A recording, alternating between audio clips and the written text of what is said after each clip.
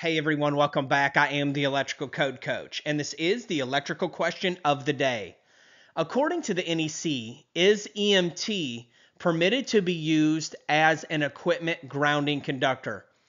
And of course, what we're talking about here is using the conduit itself as an equipment grounding conductor instead of a wire type equipment grounding conductor. And the correct answer is yes.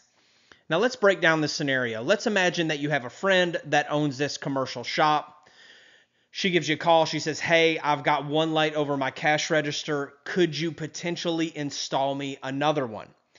And you're like, Sure, I can do it. You drive over there, you pull out a stick of EMT, you pipe it over, you go ahead and get ready to hang the light. In the meantime, you realize that you don't have a roll of green on the truck, and you call me and you say, Coach, can I install this light? With no wire type equipment grounding conductor in the conduit? And the correct answer is yes. And we're going to have to go to a couple different code sections for this.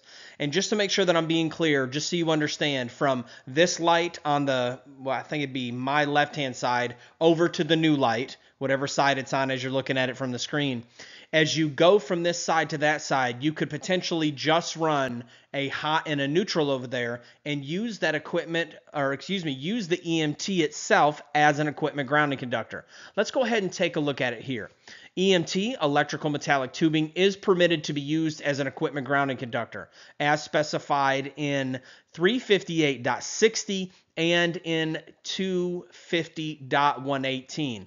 Now, when we get over to 358.60, it is the NEC article all about EMT. If you want to learn everything you ever needed to know about installing it, you could go over to EMT. It'll tell you uses permitted, uses not permitted. It'll tell you about securing and supporting.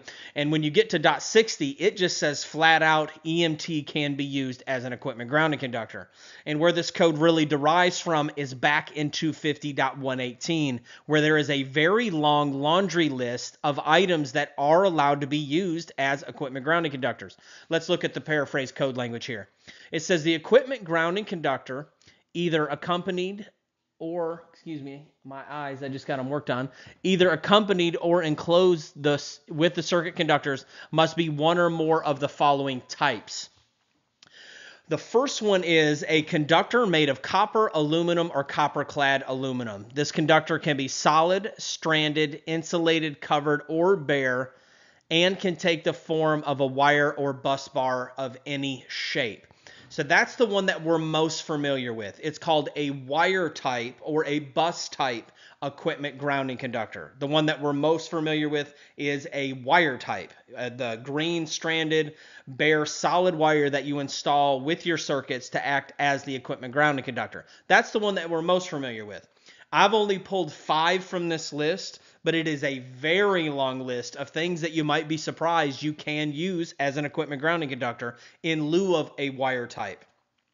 The second one is rigid metal conduit. The third one is inter- intermediate metal conduit. And the one that we're talking about today is electrical metallic tubing, EMT. Then it goes on to talk about listed, listed flexible metal and a bunch of other ones, but most of the rest of this list has special parameters that you're allowed to use or that you must abide by if you're wanting to use this as an equipment grounding conductor. So don't just think you're going to pull out some liquid FET flex and use it without meeting the other requirements that are listed there in 250.118. So you are allowed to use EMT as an equipment grounding conductor itself. Now, often types, I'm all about pulling a wire type equipment grounding conductor on top of my EMT. I like to do both just for many reasons, in my opinion. And don't forget that there are specific cases in the NEC where you must pull a wire type equipment grounding conductor. I think there's some rules in HVAC.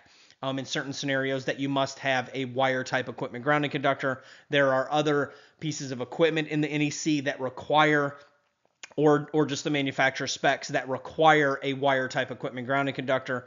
I'm not going to get in the business of doing a lot of using rigid metal or EMT as my equipment grounding conductor, although if done safely and properly, there's absolutely nothing wrong with it.